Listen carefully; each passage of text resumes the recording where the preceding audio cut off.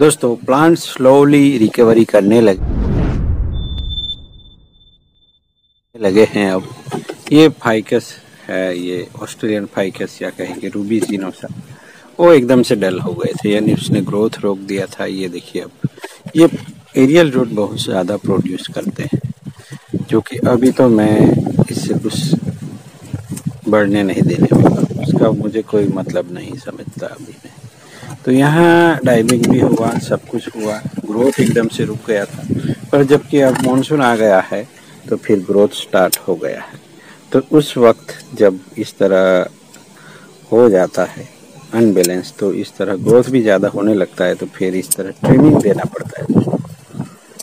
इस सीज़न में हम क्या कर सकते हैं? तो इस तरह ट्रिमिंग कर सकते हैं, और ये अभी लाइव है। जिससे कोई इफ़ेक्ट नहीं होगा आपको। तरह बड़ी ब्रांचें हो गई है, उन सबको हम निकाल दे रहे हैं।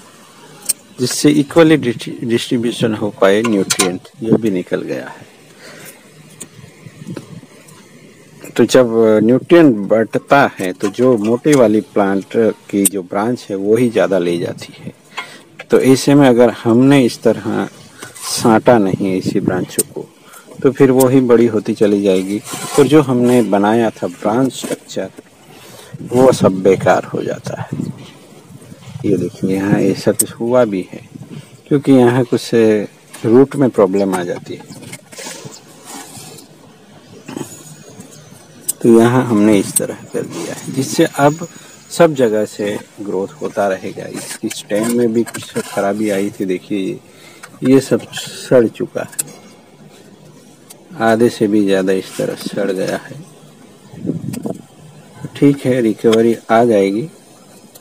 नीचे वाला जो पार्ट है, वो लाइव है और कुछ नए रूट्स लेगा तो ये रिकवर कर जाएगा दोस्तों। इससे हमें कोई दिक्कत नहीं होने वाली। स्टाइल बहुत ही अलग है। पूरा ऑफसेट किया हुआ है, ये देखिए। और वहाँ लाके मैंने इसको स्टाइल किया हुआ है। तो इसके ट्रंक लाइन भी बहुत ही अलग है अननेचुरल है। पर जो कुछ भी किया है, वो अलग दिखेगा दोस्तों। तो ऐसा कुछ वर्क होगा तो ही ज़्यादातर नोटिस किया जाता है। बट हम तो यहाँ अपना काम कर रहे हैं। हमें जो अच्छा लगता है, करते रहते हैं। आप लोगों को ये प्लान कैसा लगा, ज़रूर बताइएगा। और यहाँ ये सब वर्क चलता रहेगा। यहाँ वेकेशन ज़्यादा नहीं रहता। इस ईयर मैंने ज़्यादा गैप ली। कभी टाइम के चलते, वक्त के साथ कुछ ज़्यादा ही ब्रेक ले ली इस बार। नहीं तो हम हर दिन एक वीडियो देने की कोशिश करते हैं। तो आप लोग भी शेयर ज़रूर कीजिएगा वीडियो को सपोर्ट करने के लिए। ये देखिए, ये स्टैम भी पूरा का पूरा चला गया है। और यहाँ से एक रूट निकला है, जो कि नीचे जा रहा है। तो वो इस पे अब आ जाना चाहिए सब कुछ। यहाँ भी एक रूट